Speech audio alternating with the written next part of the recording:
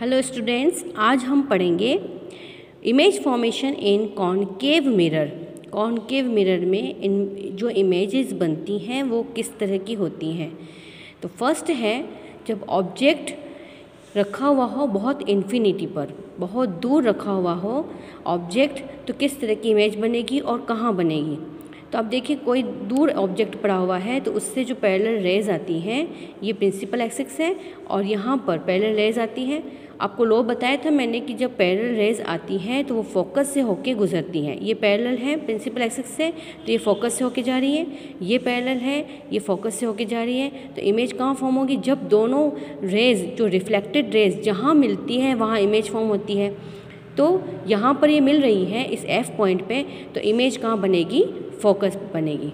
First समझ में आ गया होगा आपको कि जो भी ऑब्जेक्ट इन्फिनिटी पे होता है, उसकी इमेज बनेगी फोकस पे, क्योंकि ये कॉन्केव मिरर में है और क्योंकि इसकी इमेजेस आगे बढ़ रही है तो ये रियल होगी और इन्वर्टेड होगी। सेकंड है कि जब उस ऑब्जेक्ट को हमने उठा करके सी ये जो, ये फोकस पॉइंट है, ये सी है कर्वर्चर और ये है, यहाँ पर हमने उस ऑब्जेक्ट को रख दिया इन्फिनिटी से ला करके थोड़ा पास कर दिया। तो अब ये थोड़ा, अब इसको हम क्या बोलेंगे? बियॉन्ड सी यानी कि सी के पीछे रखा हुआ ऑब्जेक्ट इस ऑब्जेक्ट से एक पैरल रे निकल रही है। ये पैरल रे कहाँ से होकर निकलेगी? वापस रिफ्लेक्ट कहाँ से होगी? फोकस से। यहाँ से जो रे निकलेगी फोकस से होके आ रही है। तो आपको रूल बताया था कि जब फोकस से होके कोई रे आती है तो रिफ्लेक्ट होकर कैसे जाती है? पैरेलल जाती है पैरेलल गई। यहाँ सी से होते हुए ये रे आई, यहाँ से टकरा कर वापस किससे गई? सी से गई। तो तीनों रिफ्लेक्टेड रे ये एक रे ये दूसरी वाली रे और ये तीसरी वाली। तीनों कहाँ मिल रही है? इस आई पॉइंट पे मिल रही है। ये आई इमेज बन रही है। तो आप, और मैंने इमेज का इस तरह से एरो कैसे बनाया? उल्टा बनाया। उल्टा मतलब इन्वर्टेड बनता है।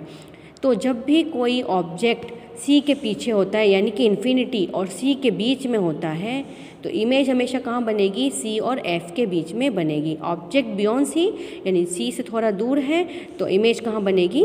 सी और एफ़ के बीच में बनेगी। नेक्स्ट है थर्ड पॉइंट जिसमें सी पर हमने रख दिया। अब हमने ऑब्जेक्ट उठा उठा करके और बिल्कुल सी के ऊपर रख दिया।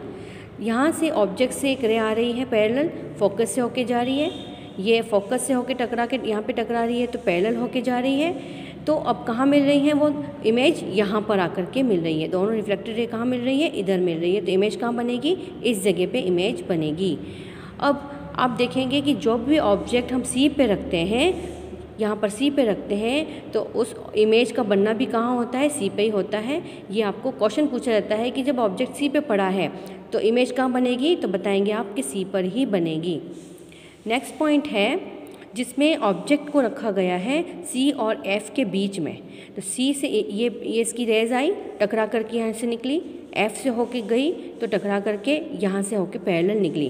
तो कहाँ मिल रही है ये ये? इस पॉइंट पे मिल रही है, यानी कि जब भी हम ऑब्जेक्ट को सी और एफ़ के बीच में रखते हैं और इमेज कहाँ चली जाती है? सी के पीछे चली जाती है। यानी देख रहे हैं आप कि जितना हम ऑब्जेक्ट को खिसका करके और इस इसके पास में लाते जा रहे हैं मिरर के पास में लाते जा रहे हैं ऑब्जेक्ट की इमेज कहाँ बनती जा रही है? उस मिरर से दूर होती जा रही है। अब आप देखेंगे ये वाला जिसमें हमने ऑब्जेक्ट को फोकस पे रख दिया है। फोकस पे रखते हैं तो ये रिफ्लेक्टेड रे इससे होकर के इस तरह से पैरेलल जा रही हैं, आप देख रहे हैं। तो ये कहीं पे भी इमेज मिलती हुई नज़र नहीं आ रही है। तो जैसे ही हम फोकस पे रखते हैं तो इमेज इन्फिनिटी पे बनेगी, बहुत दूर जा कर के फॉर्म होगी और वो हमको बहुत एनलार्ज दिखाई देगी। उसके बाद में है लास्ट जिसमें हमने क्या किया, उस इमेज को क्या कर लिया, बिल्कुल ही इस मिरर के नज़दीक में लेकर के आ गए, बिल्कुल पास में लेके आ गए। तो जैसे ही हम उस इमेज को बिल्कुल पास में लेके आ जाते हैं तो इमेज क्या होती है? उस मिरर के जस्ट पीछे की तरफ़ बनती है। आप देख रहे हैं इमेज यहाँ मिरर के पीछे बनेगी। तो ऐसी कंडीशन जिसमें कि हम बिल्कुल ऑब्जेक्ट को फोकस और और इस पॉल के बीच में ले आते हैं। बिल्कुल चिपका देते हैं मिरर के पास में, बिल्कुल करीब ले आते हैं तो इमेज हमेशा कहाँ बनेगी? पीछे की तरफ़ बनेगी। ये बिल्कुल इसका ऑपोजिट हो जाता है। तो यहाँ पर बनेगी तो इमेज कैसी होगी? सीधी होगी।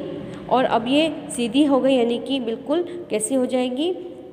इरेक्ट हो जाएगी। एंड इरेक्ट है अगर और मिरर के पीछे बन रही है तो क्या कहलाएगी? वर्चुअल इमेज कहलाएगी। तो आप ध्यान रखिए कि जितना हम ऑब्जेक्ट को मिरर के पास लाते जाते हैं इमेज उस मिरर से बहुत दूर बनती जाती है और बिल्कुल पास जब ले आते हैं तो इमेज उस मिरर के पीछे की तरफ़ बनती है। ये छः डायग्राम रे डायग्राम्स आपको कॉपी के अंदर बनाने हैं। Thank you